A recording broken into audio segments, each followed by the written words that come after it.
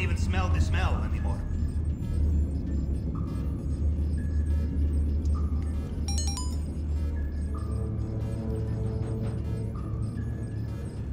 When this operation is done, there is a bottle of Navy wine with our.